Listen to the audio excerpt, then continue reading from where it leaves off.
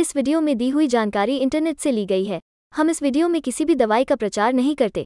किसी भी दवाई को इस्तेमाल करने से पहले एक बार डॉक्टर से ज़रूर सलाह लें। अगर आप इस वीडियो को देखकर किसी दवा का उपयोग करते हैं और आपको कोई साइड इफ़ेक्ट होता है तो उसमें हमारी कोई ज़िम्मेदारी नहीं होगी। ग्रामोजिल सस्पेंशन एक एंटीबायोटिक दवा है जो बैक्टीरिया और पैरासाइट इन्फेक्शन की विस्तृत रेंज के खिलाफ असरदार है। बच्चों में इसका उपयोग दांतों, फेफड़ों गैस्ट्रोइंटेस्टाइनल ट्रैक्ट मूत्रपथ और जननांग पथ के संक्रमण के इलाज के लिए किया जाता है।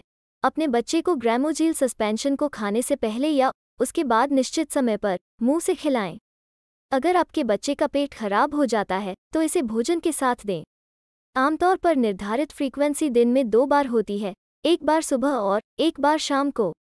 यदि आपका बच्चा सेवन के 30 मिनट के भीतर उल्टी करता है तो उसी खुराक को दोहराएँ, लेकिन अगली खुराक का समय होने पर दोहरी खुराक न दें। खुराक और इलाज की अवधि आपके बच्चे के इन्फेक्शन का प्रकार और उसकी गंभीरता, बच्चे की उम्र और शरीर के वज़न पर निर्भर करेगी। इसलिए डॉक्टर द्वारा बताई गई खुराक, समय और तरीके के अनुसार ही दवा दें। इस दवा को लेने के बाद कुछ बच्चों में मामूली और अस्थायी साइड इफ़ेक्ट हो सकते हैं।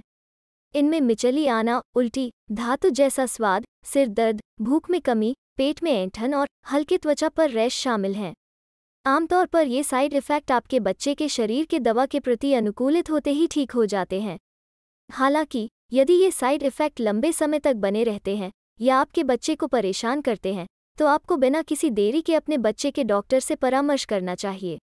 आपके बच्चे के डॉक्टर को पता होना चाहिए कि आपके बच्चे को पुरानी कोई एलर्जी, हृदय संबंधी समस्या, रक्त संबंधी विकार, लिवर की खराबी और किडनी की खराबी जैसी समस्या है।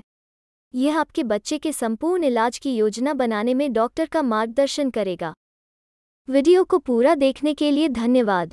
अगर आपको वीडियो अच्छी लगी हो तो वीडियो को लाइक करें और साथ ही हमारे चैनल को सब्सक्राइब करके नोटिफिकेशन बेल आइकॉन पर क्लिक करें और ऑल नोटिफिकेशन को क्लिक करें। धन्यवाद।